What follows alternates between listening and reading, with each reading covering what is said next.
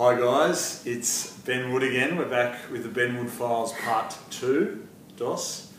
Uh, today we're just one on one with the uh, very beautiful and amazingly talented Lucy Bell. So, Luce, um, can you tell us a little bit about the character that you're playing in the play? Um, I'm playing the Duchess of Malfi, who is um, one of three siblings in, in this family. She has a twin brother.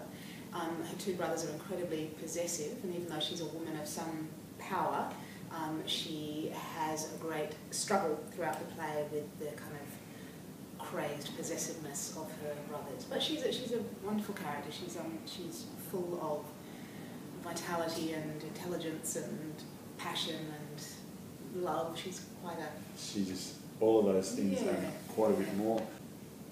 When uh, the director approached you, um,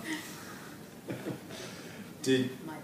Yeah, your dad. Yeah. Did did the fact that it was John play into your decision to, to do it and, and kind of because I think this is only the second or third time. That's the third time Yeah. I worked with him. Um, yeah, it did. It really played into it. I, I, I really, really wanted to work with him.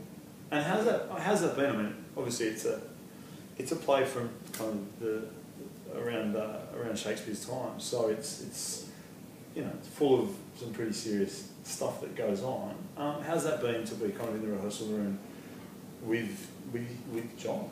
Well, I, I found it amazing. I mean, his knowledge and his kind of help and guidance because he's, he just knows, you know. Everything. Yeah, well, he knows this, this kind of this period so well. So I, I, have you found it good? Oh, it's it's unbelievable the amount of um, support and the amount of problems that he solves yeah. for you um, very very quickly. yeah.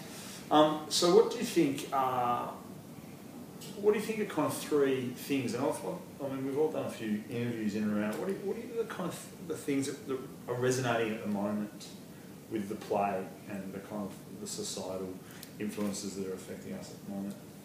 Death, death, and death. Yeah, yeah, yeah. um, death, and and and I, I guess because you know it's such a kind of meditation on death, exploration of death that you know it, it life and passion for life become actually a really major part of it Yeah. as well. So What do you reckon the best, funniest moment of rehearsal has been? oh, funniest moment.